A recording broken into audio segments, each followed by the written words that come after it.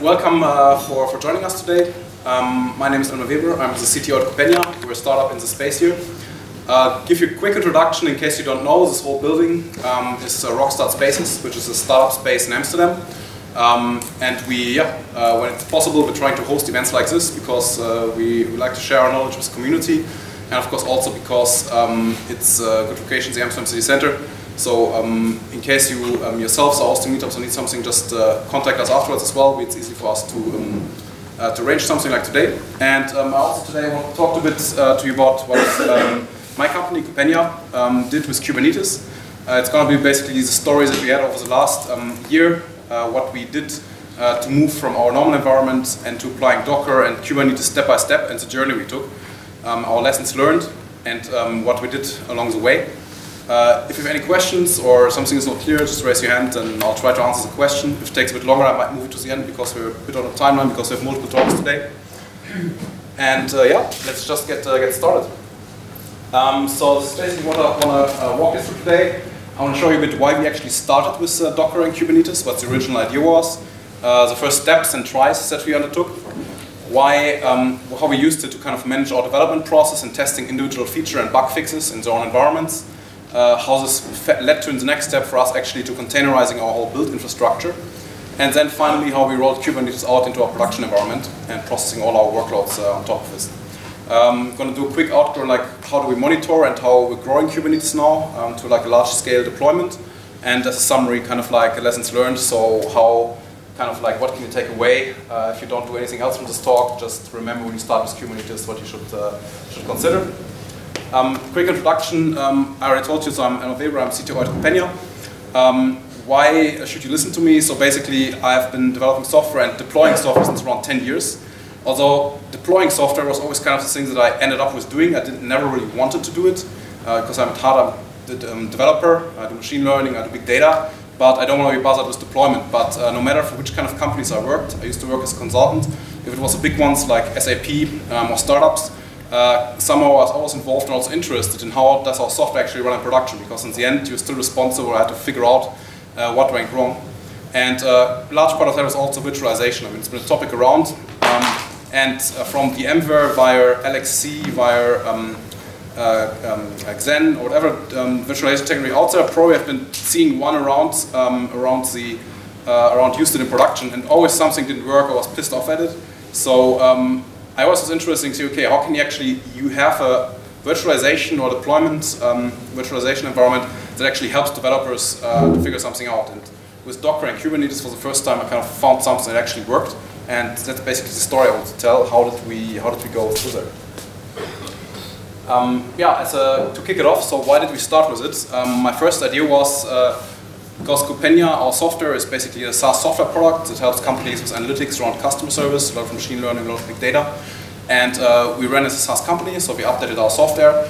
And uh, we wanted to kind of um, go, we said, okay, we're SaaS, we have enterprise clients, but we're moving more towards SME companies. So we want to see how can we update our software more often. So we're looking into continuous deliver delivery um, and continuous deployment so that we can, in the end, uh, make sure our software is uh, released often and um, up to high quality. Um, I think most of you guys are very familiar with this. So basic idea is that whatever feature you develop, whatever you're doing, uh, you make sure that any kind of change to your software automatically gets built, um, which means depending on how your setup is, you compile it, you run unit tests, and then you push it through different environments from um, their own environments in a, in a, development environment just for this one feature, if you're using a branch flow in your environment, to development environments, uh, UAT environments, and finally production.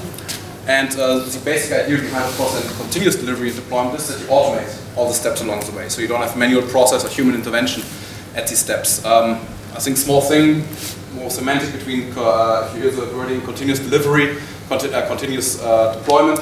Uh, the steps not necessarily automatic, so if you have some kind of final improvement step between stages, if you say you want to do larger deployments, then you may have something in between but that just means kind of um, approval. In the end, you're still trying to automate the whole process so that anyone in the company or in the development team at least is able to run this and uh, get it done. That was our main goal as well, because we had, we have a complex system, we have a lot of um, big data things that we do, so our whole system was kind of always set up in a way that required us uh, to really like deployment and run things, means configuration, means setting things up, because it, it was always like some small um, changes in performance and that we had to consider. So for us, deployments and getting this thing done is very important to get there because we haven't been there. Because we had virtual machines, uh, we had clusters of these things, but they all were managed manually. We used Puppet or SaltStack for automation of these things, but we didn't really have automated all these steps. So we did automated builds, but from there on it was a manual process to compile something together, update an environment, deploy the software, do testing and so on. So our goal was to really get this automated end-to-end -to, -to, um, to pick up our delivery speed. Uh, the second thing that we want to um, get done is we have seen when we're developing features, specifically user-facing features, um, it took quite a long turnaround to get feedback from business and from um, anyone in the company. Uh, we follow a standard Git branching model, which basically means there's a master branch, which is our um, the main software, of, uh, main version of our software that we're releasing. Uh, we then create a feature or bug fix branches uh, for what we what we have on each um, push. Uh, of course, a build in our continuous um, integration environment is triggered, so it runs unit tests and so on. At one point, a pull request is created, so other developers can review the code um, comment on it, then it's merged into master, and then it was um, basically deployed um, and ready for, for testing in the dev environment. Uh, the one thing that we have seen is that there was a huge uh, gap between the code review and when it was ready then for UAT and feedback. Because uh, the pull request you couldn't really deploy to an environment, so you had to first make sure someone could test it locally, maybe you could, if you're lucky, someone has time, joins the developer, gives some feedback on the machine directly, but it was very hard to kind of deploy a branch into um, a proper environment. And this kind of is uh, added up to a gap for us. It took up to one week wow. until kind of uh, from code review, and there was some iterations on this kind of stuff to get it really done.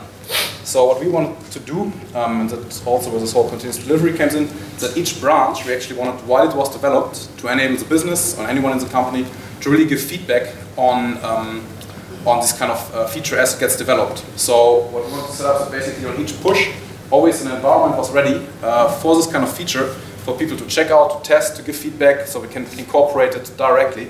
So at the moment when there's code review, basically the user acceptance test or any kind of feedback is already done and incorporated. Therefore shortening this whole cycle and getting us ready to really deploy, um, to deploy much faster. The idea behind this and why we chose Docker was basically when we started, and this was in around April uh, last year, I think, um, it was back then the de facto standard for containers. Um, it had native support on most cloud platforms. Uh, we are running, we're still running on uh, Google Cloud, but if for some reason we had to switch, it would also be available in uh, Azure and Amazon Web Services and so on. So it was a standard that could run anywhere. You could run it locally, so if you needed some kind of service combinations that you can have your developers checking out, you can just pull the container, run it, and uh, integrate it. And it was also a fancy word. Everyone was actually talking about Docker.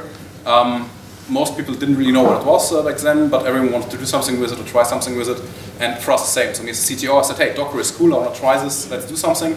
So why not start with this uh, in the end and use it uh, for that. So a quick, maybe by show of hands, uh, who knows Docker? Otherwise I'm going to walk through this much faster. Perfect. Uh, who knows Kubernetes? Okay, so some things I'm just going to skip over. Docker basically a way to separate your apps uh, in your application, not on the operating system level, but more on the library um, application code level. So you don't get a fully virtualized uh, system, but you're getting virtualized basically everything that your application needs to run, libraries, dependent services, um, and so on.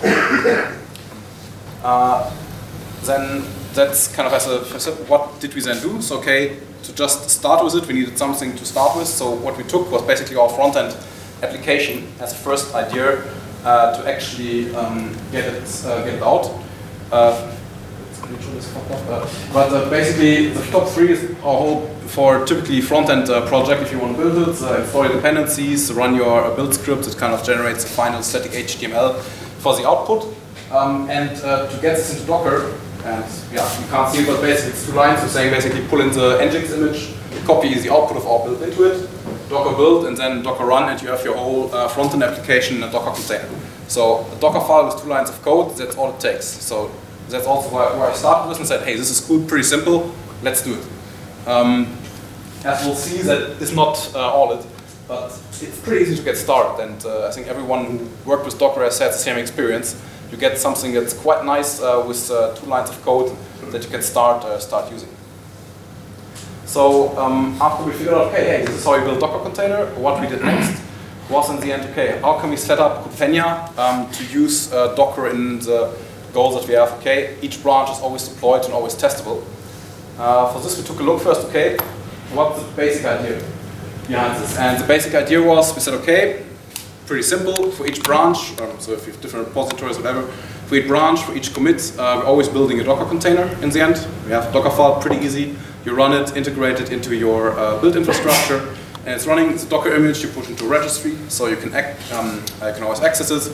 And finally, um, you um, set up the Docker container, containers and run them somewhere.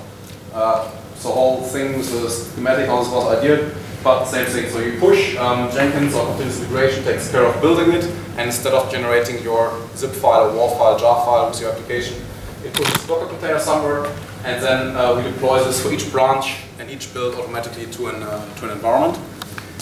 What we looked at, and we had uh, one of our um, actually started uh, because it was, uh, was a nice to have because it's a lot of effort to get this thing figured out, set up.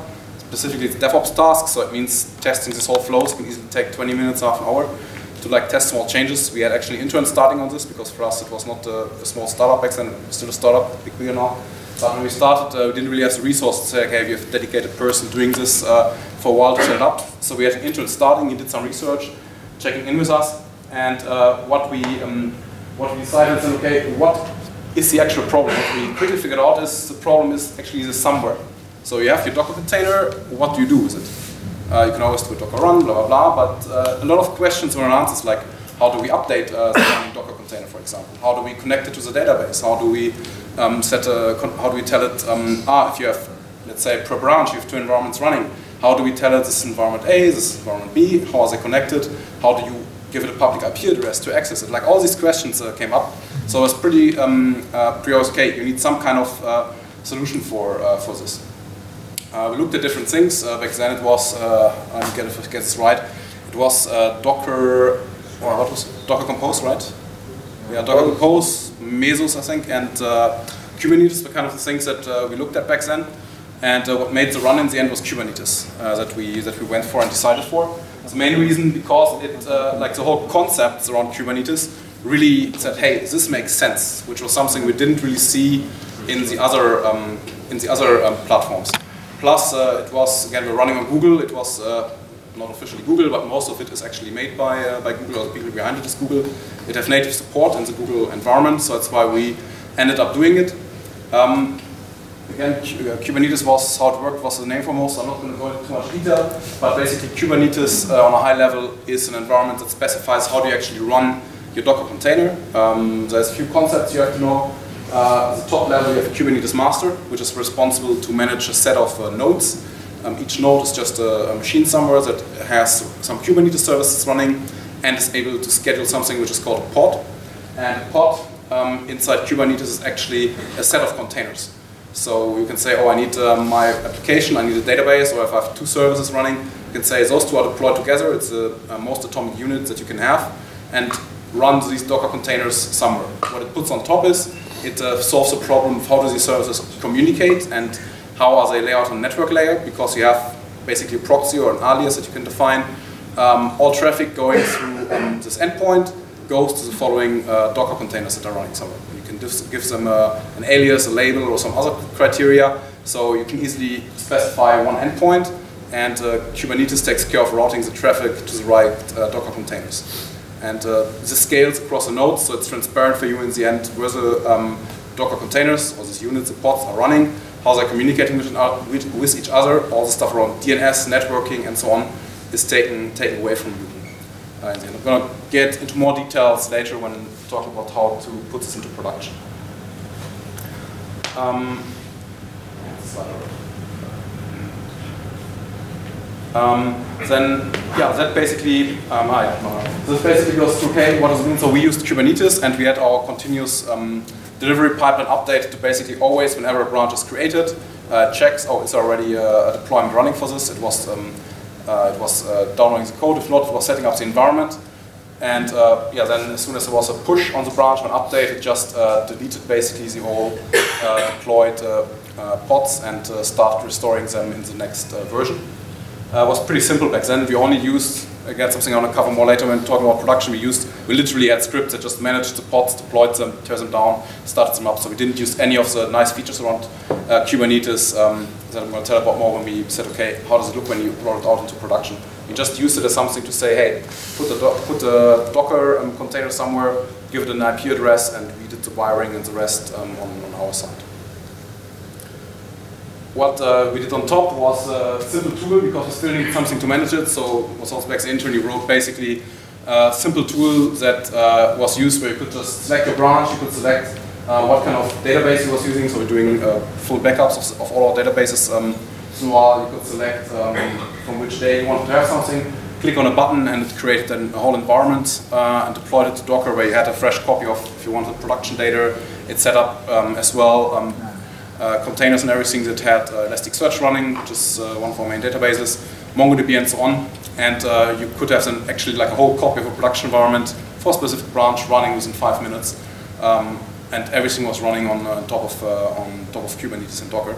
And yeah, you clicked another button, it was gone again. So it made it very scalable and really made it possible for us to have these kind of really separate environments where you could easily test and figure out, uh, even enable business users to do like full tests on real data um, on the whole feature, instead of just having one environment where you manage all these uh, kind of things. Yeah, that as a, as a quick summary so far what we started out with. So to summarize, it was really just the first idea, how can you try this, how can we use it?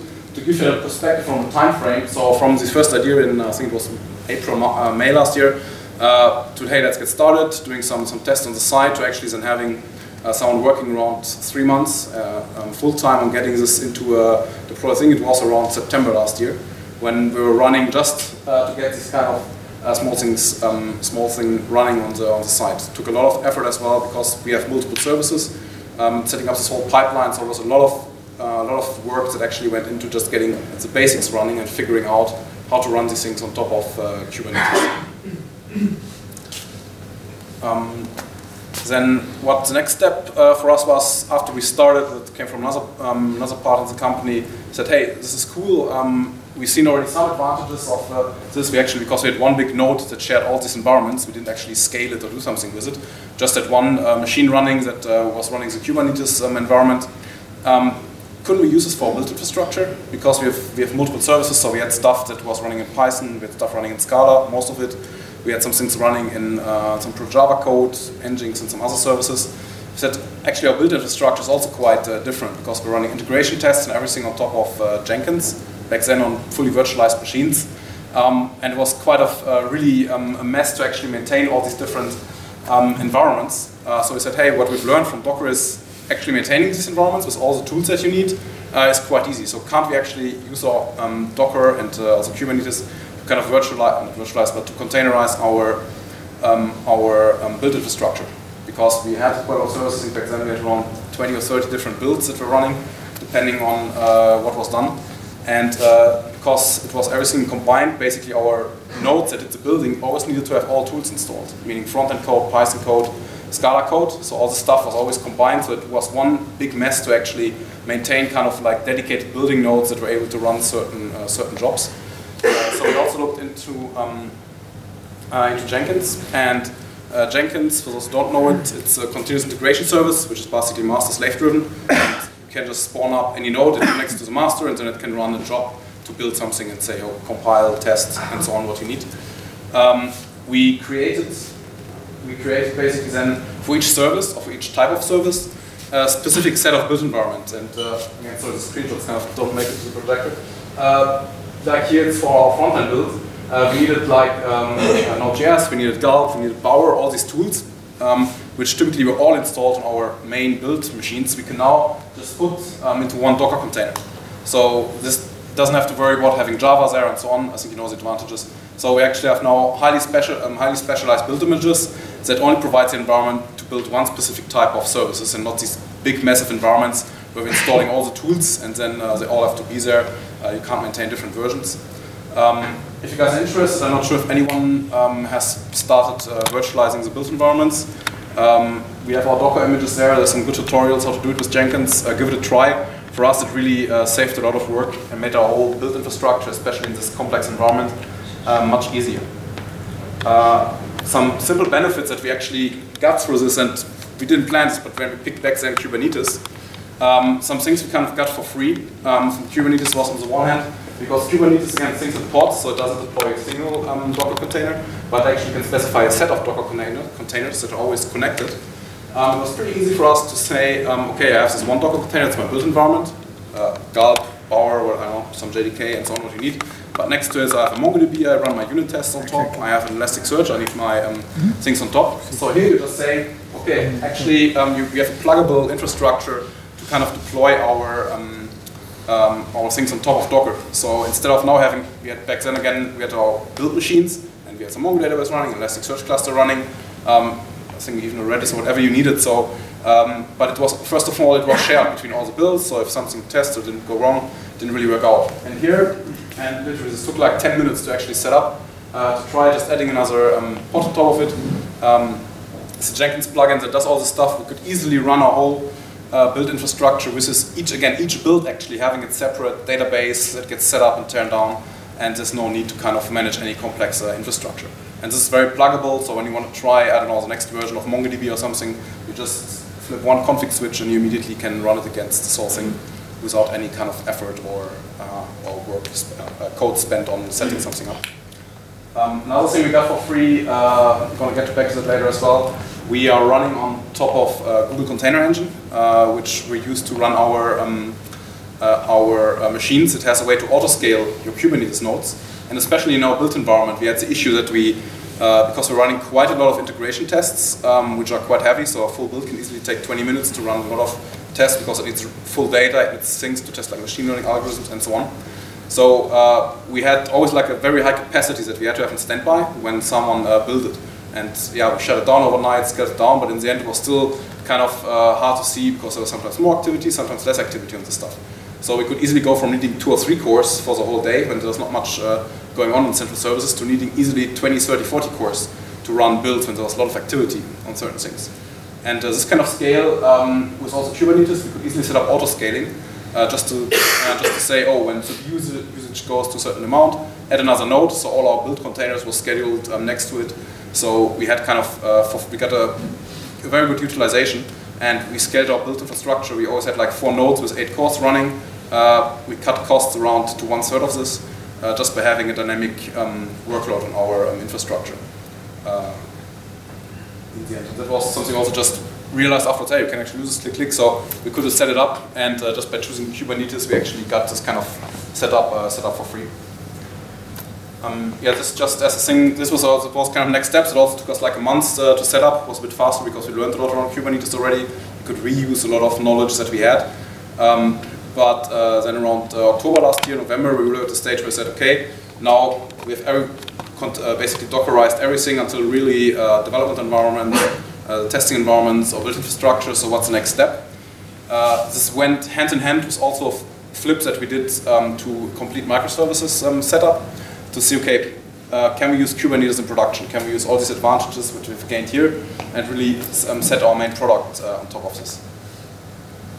Uh, for this quick background on how our architecture uh, looks like, um, and uh, basically uh, what we have is, um, for example, we have around three components. We're receiving real-time data from external sources. Um, so customers are sending us, sending us the data. This can be different data depending on the company that we use for analytics.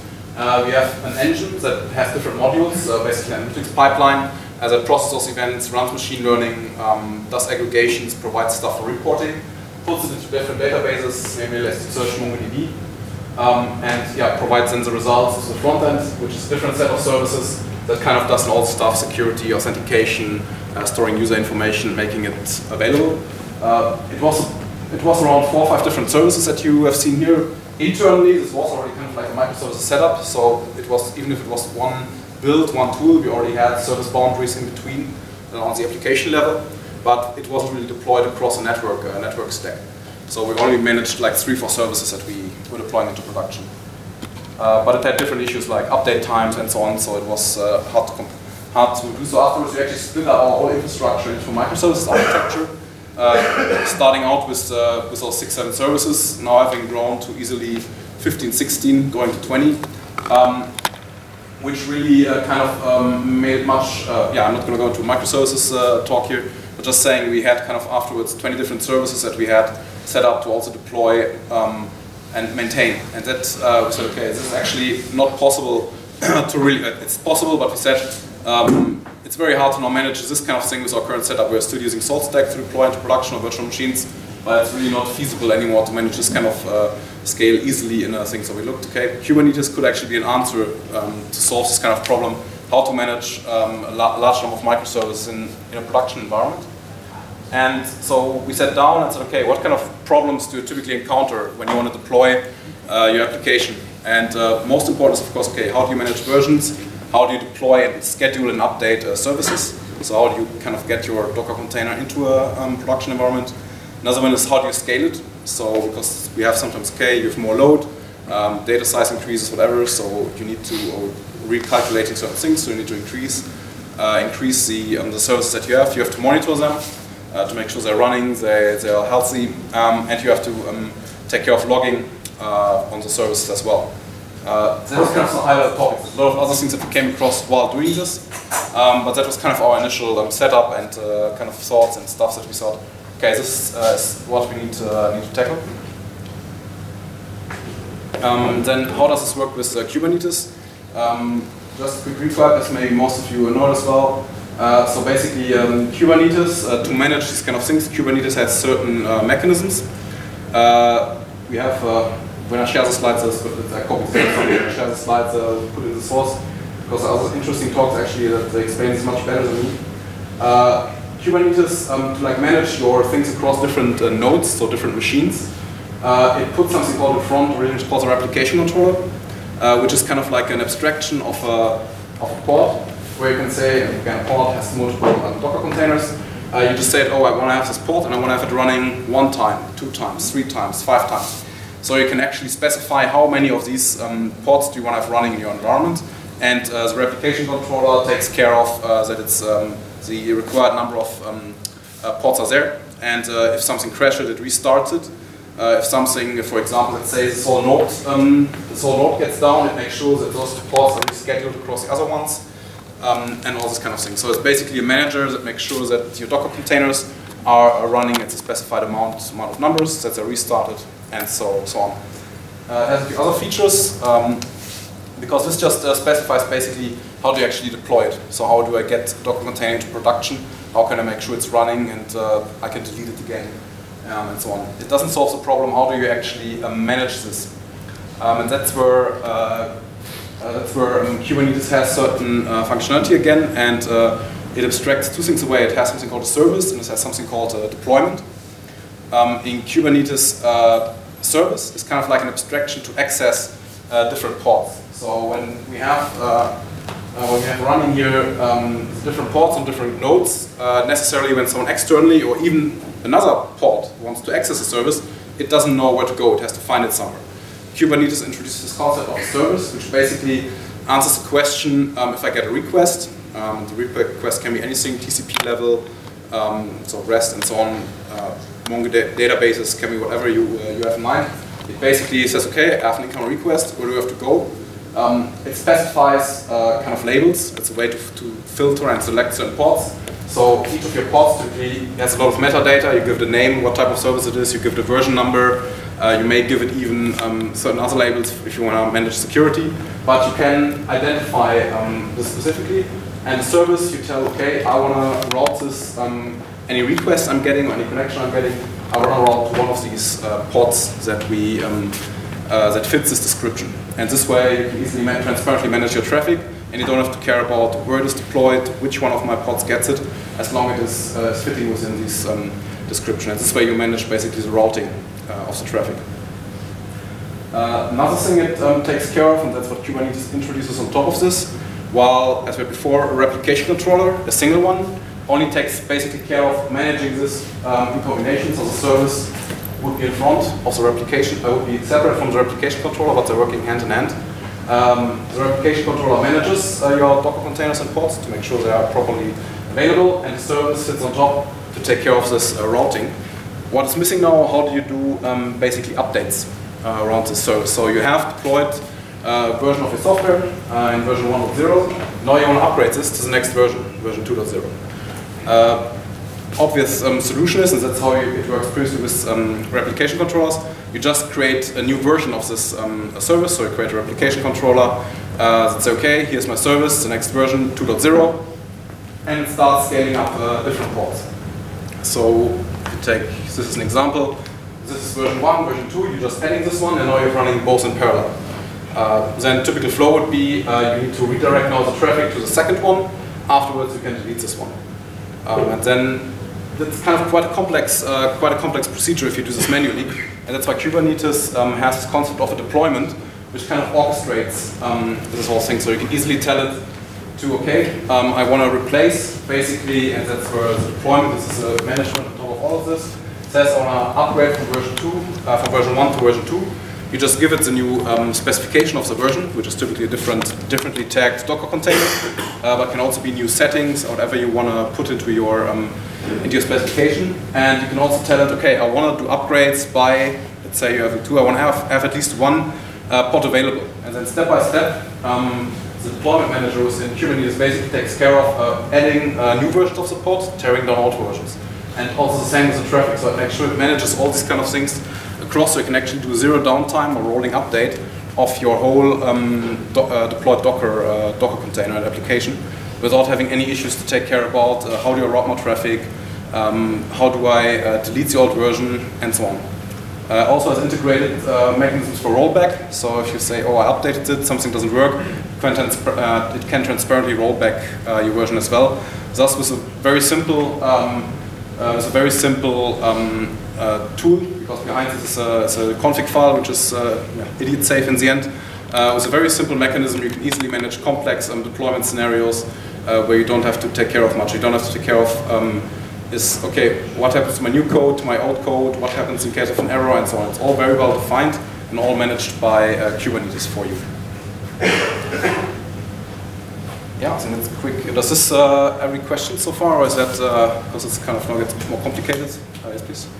I have like 10 questions, so maybe someone... Okay, anything more? uh, maybe quickly, just uh, from a concept perspective uh, around the deployments and how these kind of things are managed. Does this make sense to everyone? if it's more a general question, we can maybe better move it to the end. Okay, because we're going to have two more topics that kind of built on top of this that are interesting. So um, typically you need, uh, and that's again where Kubernetes really comes in because it has a defined standard. You can like it or don't like it, that's your, uh, your choice. But to kind of manage, okay, how do I know if my um, kind of uh, Docker container is ready to take traffic? Um, how do I see if my Docker container is actually there um, and ready uh, and still able to receive traffic because it didn't crash or ran out of memory or something? Um, what uh, Kubernetes defines is um, two things, basically they're health checks, but they're categorized into two types. Um, it's a liveliness probe and a readiness probe. Um, I'm going to start with the readiness probe. Uh, readiness probe is basically defining, okay, my container is ready, my pod, so using it a bit interchangeable, but container in the context of Kubernetes for me is now kind of like pod. So my pod is ready to um, receive traffic, which is, uh, you can define anything. It can be a, typically it's a REST endpoint that you're just calling to tell it, uh, yeah, I'm ready to receive um, traffic, but you can also define a shell script uh, if you want, uh, or just monitor TCP port to see if uh, the service is available. Um, and it basically says, okay, the moment um, my service returns okay, I can start sending traffic to it. So it means all my initializations are done, your port is bound, of course, because otherwise you couldn't, uh, couldn't connect to it. Um, and uh, also that uh, your um, all your startup um, kind of things are done. So just by implementing the simple REST endpoint, which most of your services probably have as a, as a, a live thing anyway, you can just use in this way, um, just by reusing your existing uh, endpoint, uh, you're getting kind of for free to know that you're not, uh, that Kubernetes only stops the old port when it knows that the new one is there. So you actually have always, uh, always something available. Well, otherwise it would be pretty hard to know, okay, can I already start sending requests to it or not? Um, the same kind of concept, but it's uh, same. Can also have a liveliness probe because uh, it pings. Uh, it's configurable, of course. It can ping every X seconds, minutes. Um, if the pod is still available and is it still healthy. So, for example, um, if it doesn't reply at all, or if your database is, database is not available, it's up to you. But you can specify REST endpoints that gets checked regularly. And if something doesn't respond as it should anymore, um, Kubernetes automatically takes care of killing it and also restarting it and rescheduling it.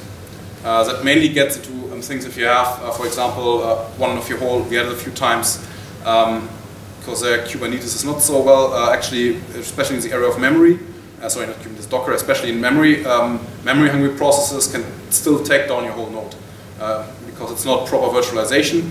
Uh, we had a lot of times that one of our Docker containers that used more memories than it should tore down the whole host operating system um, as well. And then suddenly a single pod can actually take down a whole node, taking out another few, um, uh, few of your pods. And then because the liveness probe response uh, stops responding, um, you don't have to worry about it uh, because in that moment Kubernetes picks it up and restarts it somewhere else. So you always have this kind of thing running. So it's, it's a very easy mechanism to kind of keep your whole environment um, available, even against this kind of, because you have a shared environment, that's one of the problems.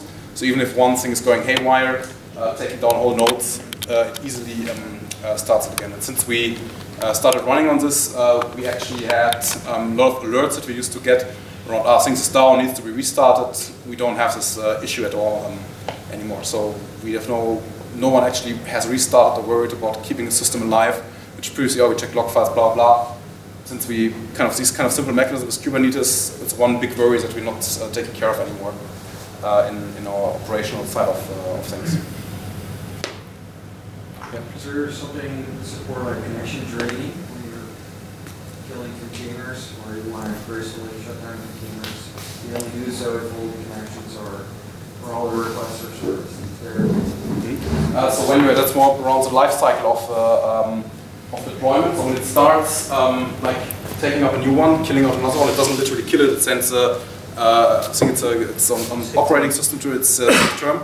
Uh, and then your service has time to shut it down. And uh, you can specify timeouts and so on that are happening. So we do the same because we also have some services require a clean shutdown because we have it's a, it's, a, stateful environment.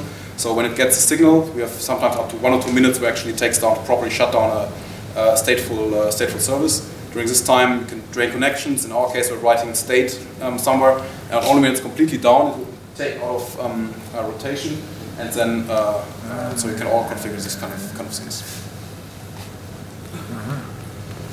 Um, then uh, that's kind of the start of things, how to deploy things. Another part is how do you manage log files. So yeah, you have a big environment, you have lots of different services, you have a lot of pods um, how do you, um, how, what do you do with it? And again, that's something where Kubernetes has an answer. Um, I don't know the exact thing about Spectre. I think it specifies an abstract logging uh, framework where you can have, uh, okay, the output of certain, uh, of the console by default is logged, but you can also monitor log files within a, uh, within a container. Um, and then it uh, takes all this outlook and puts it somewhere. Um, we're using Google Container Engine. Uh, they have their own logging. Uh, but it's internally using FluentD, which is a log, uh, log aggregator service, and you can easily remove the service, replace it with your own thing, Logstash and so on, send it to Elasticsearch. But the important thing is it really it has a well-defined concept how um, logging output is gathered, how it is um, connected, and what is done with it on a, on a cluster level. And uh, you can easily then do whatever you, uh, you want to actually put it somewhere um, and, uh, and, use it. And that was one thing we spent five minutes on at the end. So we, uh, just said, hey, this works, Google fine. So didn't have any problems uh, around logging uh, to get the logs. You have different problems what you do with the logs, but at least gathering the log and making them available, um, that was something we didn't have any kind of thing but we need to, uh, to look at and how to do it. Um, yeah, I was running the other part, and it goes more around how do you integrate this now into your, oh, sorry, yes. Yeah, well, if you have a few containers in the pod, the whole world in the same time, so we synchronize all the work. Sorry, do you? If you have a few containers of the same service, yeah. up, we synchronize the logging of, all the, containers Do you mean that uh, to make sure that stuff like timestamp is there, or that you can track? I think because in the end, yeah, what the different requests coming from the different containers, which is basically the same application. What happens with the, with the logs? How they put together? Uh, each um, each port and each container has its own kind of uh, log ID. So I just know how it works in Google. We have all this kind of metadata which gives us a container name, the port name, and so on. And they have kind of like a, basically it's a, it's a flag that says so because it's a JSON structure that at least arrives here, which has all this kind of stuff by by service, uh, also within the containers. I'm not sure other logging implementations. Like timestamp, so it's sorted by timestamp. Maybe that's what it means. I mean, yeah, I'm sure. It basically it's a tail, so it, it puts it uh, puts it in. But if if you uh, you have no guarantee that uh, logs from A with B are at the same time gathered or aggregated. That's up to up to you in the end. So I'm not sure if I does it answer it or Yeah. yeah. Sorry. Ah yeah. Uh, I'll get back to that. Yeah. You mentioned FluentD, right? Yeah. You use Fluent, is there a Fluent D daemon in, running inside of every bot? Uh, not the way I would say how Google sets it up. I actually have no idea how this works in the default Kubernetes setup. But basically, they have one FluentD running for each node, and that's a service that is available and that takes care of uh, tailing its log files. You don't put like Fluent D inside your container or something? No, it's not inside your containers. It's possible. You can do. I've seen people manually doing this kind of setups, but at least for us, it's default setup on the Google Container Engine, how they implement it. And actually, I don't know. Is this a standard setup on every No, it's not the Kubernetes standard setup, but Kubernetes has a something called a daemon set, and it runs a container on every single node. So that's that's what you use for monitoring and log aggregation. That's how they do. Fluent it. is not standard That's how they setup, right? run It's only- So maybe they run it as a process in the OS. And But is it possible to send the logs like to Papertrail or something? whatever you want. So basically, you have mentioned with the daemon set, so you can say, okay, run this one service, and then you can send your log things. And this could be, we also tried it with uh, Logstash and Kibana, but you can run whatever you want on top of uh, this in the end. Um, just this is all of Vox configured. In some, you may have to set up your own logging configuration to actually get it get it sent there. And because uh, what I've been doing is I put it like a like a rsyslogd daemon inside of every container, but uh, it's not really good practice. I think it's better to do it on cluster level. You know, well, the daemon set is the standard practice. Yeah, then you don't lose efficiency. You run it on and Kubernetes takes care of running it, but you don't lose efficiency.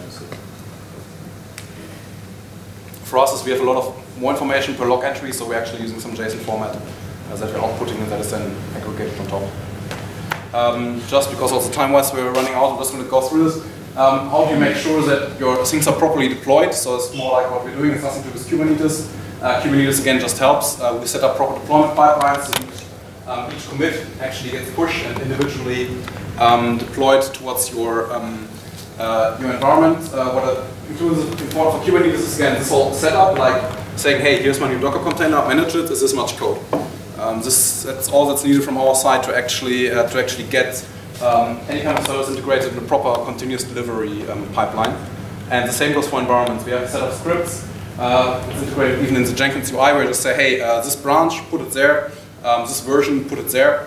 Um, and it generates like deploying all our services into one um, uh, into a new uh, namespace or something in, uh, in Kubernetes is again this much code. It's really easy because you just have your standard piece of code that generates your um, descriptors for Kubernetes and you say, hey, this is my server, so with different environments, and it immediately goes there. So it really made this kind of setup, took us in the end uh, not much time uh, to actually get, uh, get done.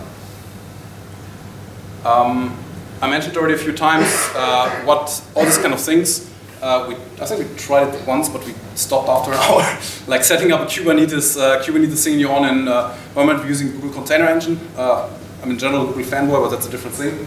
Uh, but you also get this on Amazon, I think you get this on Azure. So I think most cloud providers um, have some kind of uh, Kubernetes uh, turnkey solution by now. Um, it basically makes sure you have ready to use nodes, so you have an environment that's clearly specified, starting up a Kubernetes thing.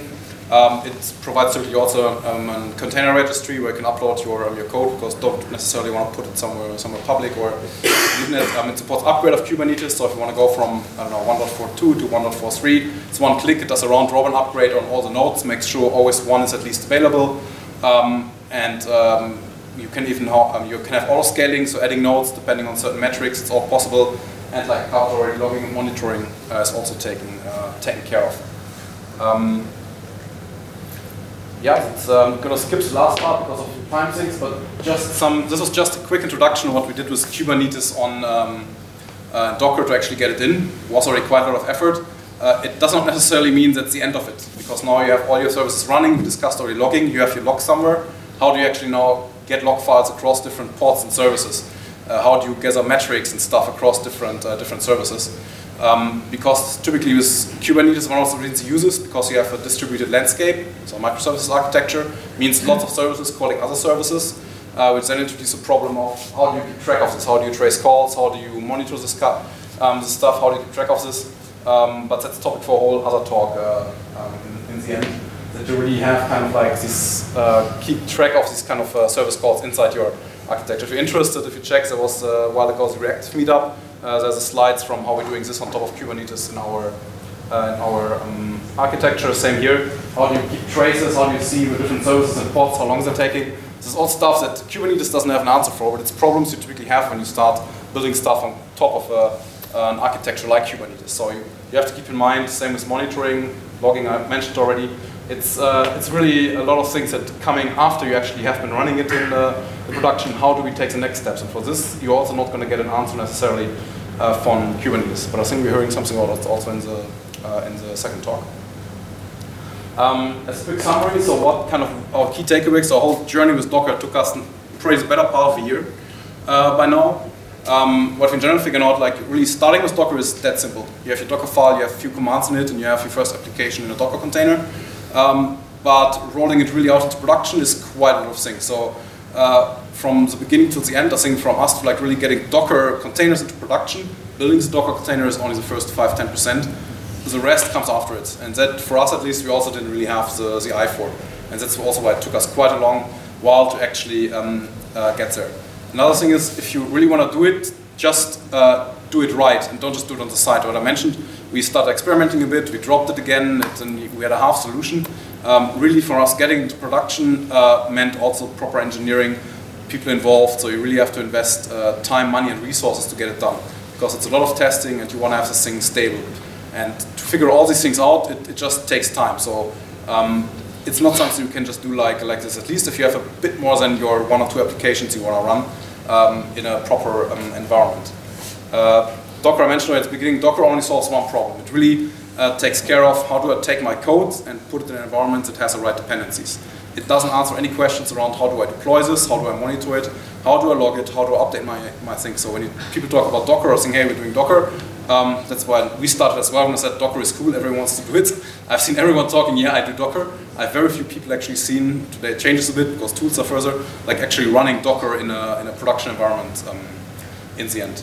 Uh, on the other hand, Kubernetes uh, has an answer to most of these uh, questions. I covered some of the topics that we, uh, we had, um, and from our, at least from our side, Kubernetes really makes Docker and microservice and all these kind of things usable. It answers all your questions, it has opinions, so certain things you can either live with or don't live with, uh, live with, but at least it's customizable to a degree that when you say, oh, I don't like how it does logging, I don't like how it does, um, does this and this, you can easily uh, replace it with your own, uh, uh with your own um, services on top. But the core problems, how do you do updates? How do you expose a service? How do I uh, make sure services are communicating? How do I make sure stuff is running? All these kind of things it solves for you uh, if you if you um, if you if you're able to kind of live with how it uh, how it tackles the concepts. And the last thing is um, really uh, for us was important uh, because Kubernetes setup um, really find something that's ready to use because doing it by yourself, even if you run it or after tutorial, typically don't necessarily have um, IP addresses. How do I expose my service to the internet? Public IP address allocation, like all these kind of things that are coming on top um, that really make it really scalable, really automatable, you haven't thought about, and it will take you a lot of time to set up. So find something or someone who can really does this for you because otherwise you're spending more time setting up the stuff that's supposed to save you time than actually uh, actually doing it. So I talked to a lot of people who really run their own Kubernetes cluster for different reasons, and the amount of money, knowledge, and brain power, and also external help that getting is quite large. So either make sure you have someone who does this for you, or find some service that actually has it ready. Yeah, I think that was uh, that was it. Um, so uh, thanks for your for your time and attention. Uh, if you have any questions, uh, can take a few now. I'm not sure time-wise. Otherwise, I'm around for the rest of the evening as well. Bart. Do you update your uh, local host, the the, the Docker host, the Kubernetes host? Uh, yeah, again, we're using Google Compute uh, um, uh, you mean the actual host operating system, or you mean Yes. the Kubernetes version? No, the host operating The system. host operating system. So we're using Google Container Engine. Um, they have this kind of minimum image that they maintain, Google maintains for uh, for you, uh, which contains the Kubernetes uh, services, and it's basically a very stripped down operating system that has nothing except all the Docker services ready. And uh, they keep care of maintaining and updating this for you. It's typically when they're saying, oh, we have Kubernetes 1.46, whatever. Um, they have one host operating system that's really it's it's a very hardened Linux. Uh, they have this called GCI, Google Container Image. It's really stripped down to the essentials, very hardened, very secure thing, and that's what they release then, and uh, also update for you if you um, if you want to uh, to have the next next version. And they bring it down and bring it up again. Uh, that too, that you have to control your, uh, you can configure it, you can either manually um, upgrade, or you can have an auto upgrade and they, um, enabled so they uh, manage this, uh, this for you. Right, thank you, Elmar. Or, yeah, okay, let's take one more. Yeah. Go ahead. Um, I have some questions about the build environment. Um, so you use Jenkins, right? Yeah. Um, like how? Okay, so you, do you ma- manage a separate cluster for your build environment, separate uh, container cluster? Um, uh, yes, for the built environment, but it also includes some stuff for our um, dev thing. So we're working typically with node pools, uh, which is a concept of um, Google Container Engine, so Kubernetes in there, which means you each node has a certain label, and you can say, okay, run this in my dev environment, production, customer A, and so on. Yeah, I so also that's good. use uh, Google Container Engine, so that's why. Uh, I asked. so you maintain a separate node pool, Yeah. but the same cluster, Same cluster, yeah. same cluster, like same cluster as production. Uh, as well, uh, so there that's separated. So um, we actually no, it's really in detail because we also have different clients, enterprise clients with their own environment for security reasons and privacy reasons. So there we are uh, having them the own cluster, but the rest is kind of our whole dev thing is one shared environment, and then we have our production environment next to it. But So built in separate Jenkins for production. not, not Jenkins, uh, Kubernetes cluster. Okay, but your Jenkins cluster runs where? That runs on Kubernetes in the dev environment. In the dev environment, but you use the same one for production, right? The same Jenkins. How do you how do you push your how do you push like your? Uh, you mean the management? Yes. So development Jenkins is also used to push and update the pipelines into production. Yes. Yeah. And how do you manage cleanup? Like for example, uh, PRs merged, right? Um, then how do you manage cleanup of the the? the That's integrated into our um, into our built environment. So we have kind of like scripts and stuff set up that oh, and this is there, tear it down and so on. So it's kind of uh, um, all web uh, Git hooked and so on, depending on the environment that we have. Thank you, Elmar.